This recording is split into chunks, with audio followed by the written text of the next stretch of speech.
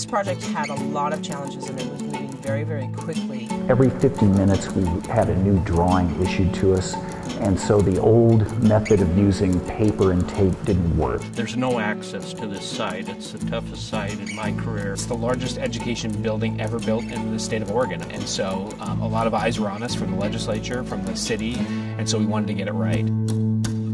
It was really a, a, team effort with the client, the designers, and J.E. Dunn. We co-located at the job site, so in essence, we worked literally side by side with J.E. Dunn. Using the Dunn dashboard and the Bluebeam process made the project a lot easier. We would have had several million dollars worth of printing costs alone that we were able to save through the use of Smartsheet, SharePoint, and Bluebeam with the Trimble units uh, working together with the other trades allowed us to lay out the decks and mark our points a lot faster. We had EOS set up so the subcontractors out in the field could actually look at the model and validate that all their bends match the way it's supposed to look. And then going into the uh, BIM 3D models uh, for clashing was a big, big help. It made it so much easier to keep the design team, the construction team all on the same page. The University of Colorado is very interested in LEED and green buildings. As hard as we were pushing, J.E. Dunn was pushing even harder. I think the standards were very high in terms of facility performance. So like the high performance data centers in terms of its energy efficiency. The energy goals for the office facility are extremely aggressive. Laboratories are very unique, high bay laboratories, to do research that isn't currently done in the United States. This is the most unique facility I've ever been involved with, period. And I come from a varied background, including nuclear projects and cleanup projects, and uh, I've never seen anything like this.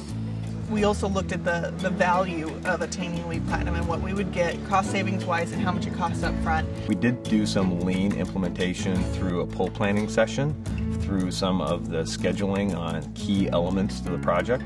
Came up with a plan for delivery schedules, uh, for pick schedules with the crane, you know, and just communicating. There was very little laydown storage area, so it was literally on-time delivery brought in with prefabricated elements from the major subcontractors to go into the building, all based on the building information modeling program that was set up. There was a pride of ownership from the J.E. Dunn folks that I've never experienced before. We were partners from the beginning.